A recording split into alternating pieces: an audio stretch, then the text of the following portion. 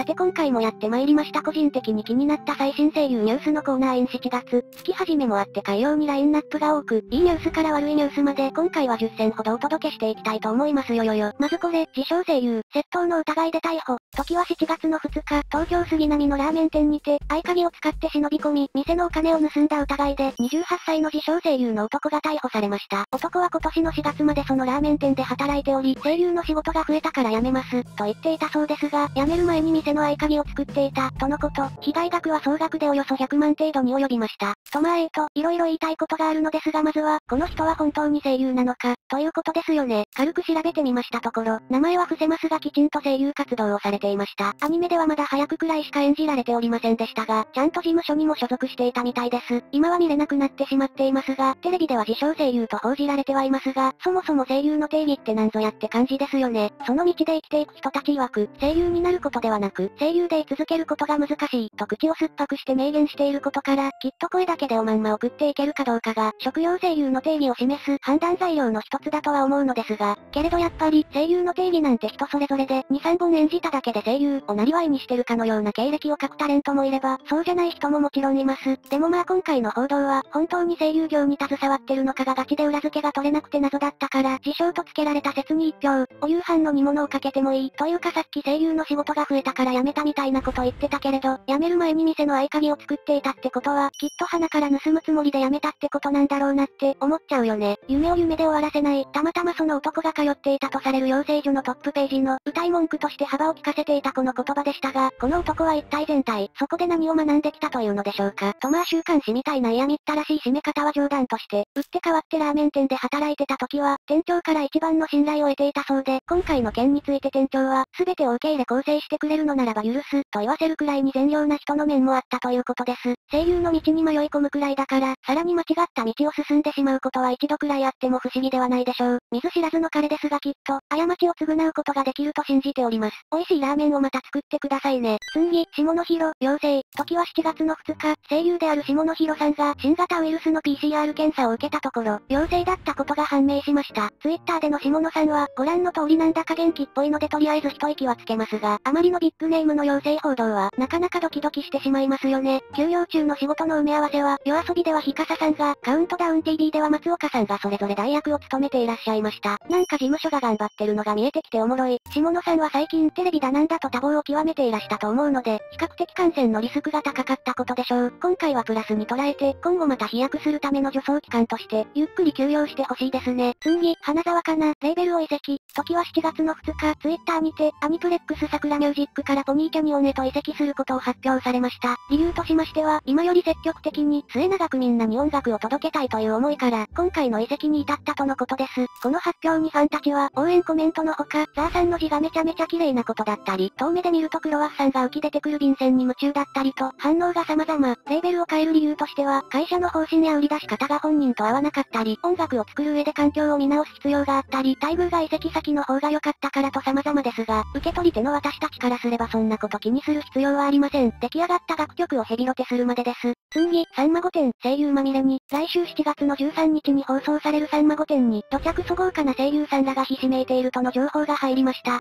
出演者は予告を見る限り10名ほどで、下野さん白井さんファイルーズ愛さん宮村さん山ちゃんくすのきさん浪川さん竹達さん松本さん脇さんと、前回声優ゲストとして出たえのきさんの回から人数が10倍の規模でお送りしておりますさんま御殿。さんまさんの進行は安心して見られるので、13日の火曜の7時56分から、ぜひチェックしとくんやで。次、馬娘声優、別芸の話をするだけで叩かれる。時は7月の2日、YouTube にて配信されたパカライブ TV にて、大和スカーレット役の木村千沙さんが、収録中に別芸の話をしたことに対して、ごく一部からの批判コメント、その他 DM での攻撃が押し寄せる事態になってしまったとのこと。そして本人がそのコメントや DM に対し反応を示してしまったことで、結果他方面から持論を展開される結果となってしまいました。確かに馬娘の公式番組で、しかも周りが馬娘のトークをしてる中で、木村さん一人だけ自分を出しちゃってみんなに疑問風浮かべられてた感は否めないけれども、捉え方は人それぞれだし、至らぬ点は今後見直していけば成長になるからもう満体として、有名人がアンチコメに反応すると、めちゃめちゃ言われます。反論したところで上げ足を取られてまた深みに陥るのが関の山です。それよりも自分を好きでいてくれる人たちに向けて140文字のつぶやきを投稿した方が、私は好きです。サトリナさんの動画でも言いましたが、スヌーピーの好きじゃない動向がどうたらとか言ってましたやんけ。それですそれそれ、木村さんは今馬娘声優として表に立っておりますが、1年後2年後、どうなっているかは分かったもんじゃありません。ソシャゲの枠組みを出て人気声優になれているのか、はたまた馬群に沈み、消えてなくなるかは彼女の行動次第でガラリと変わっていくでしょう。本気で躍進を夢見ているのなら、アンチの一挙一動で足踏みしている暇はないはずです。というのが、大塚明夫さんと岩田光夫さんの考えをすべからく踏襲したクソガエルの意見でして、個人的にはアンチコメ来ても立っていられるの、普通にすごくない？こちとら立ち直れないくらいへこたれるんだけど、何はともあれ、アンチに負けずに頑張ってください木村さん。次、神尾慎一郎、YouTube へ、神尾さんのこの顔が好きでおなじみのヒップマイアンスタのイメージが強すぎる声優、神尾慎一郎さんが、なんと7月の1日、自身の YouTube チャンネルに動画を投稿し、当たり前のように駒田渡さんと共演している図が話題となりました。と言っても、ニューヤング TV のように企画やゲーム実況をするわけでもなく、プロとしての一面だったり、プロとの対談だったりを予定しているそうで、今のところ切り抜いて YouTube に投げる ABEMATV のように、に無料部分を神尾慎一郎チャンネルに流して、後半は有料配信のニコニコ動画で見てね、みたいな体制をとっているご様子。興味のある方はぜひ見てみてね。次、駒田渡る、不倫騒動について声明を上げる。時は7月1日、自身のインスタのストーリーズにて、不倫騒動に関して、事実に対しては速やかに謝罪をしたが、やってないことはやってない、言ってないことは言ってない、と、印象操作された週刊誌の記事を否定し、今後この件については一切触れないことを宣言しました。詳しくは過去のニュース動画を見てほしいのですが、この声明を上げたといういうことは、LINE の流出画像もデタラメ、という認識をしてもいいのかな、というのが、第一印象。LINE 画像については一切言及されていなかったので気になってしまったのですが、でもまあ、本人がやってないと言っているのだから、やっていないと信じても良さそうです。次、名塚香織さん、第2子を報告。時は7月の2日、ヒロアカの葉隠れやリゼロのフレデリカなどでおなじみの声優、名塚香織さんが、無事第2子を授かったことをツイッターにて報告し、たくさんの声優やファンの方々から祝福のリプが飛び交いました。いやーまずはご解任おめでとうございます。ギアスの7リーは私の性癖にぶっ刺さって以降返しがついて取れない状況が続いていますのでいやほんとあのおめでとうございます。次、千原みのり、ついにファンクラブを終了。今年の12月31日をもって歌手活動を休止すると宣言していた千原みのりさんですが、来たる6月の30日、自身のファンクラブを終了されたことをここにご報告させていただきます。2008年から公式ファンクラブを設立していることを考えると、約13年近く運営されていたことになりますね。最近ファンクラブを開設する若手声優さんもいれば、こうやって音楽活動を全うしファンクラブを閉鎖していく声優さんもいる。なんだか世代交代の縮図を見せられたようで、どうも感傷的な気持ちになってしまう。そんなエモいニュースでした。最後、岡咲美保、アーティストデビューへ、転スラのリムルでおなじみの声優岡咲美保さん、通称おみほですが、時は7月の1日、アーティストデビューが発表され、それに伴い YouTube チャンネルにオフィシャルサイト、公式 Twitter が一斉に展開され、話題となりました。なんとファーストシングルの表題曲は、ハピネスという曲、驚くべきはボカロ P のデコニーナロックウェルという神コンビが制作したという事実。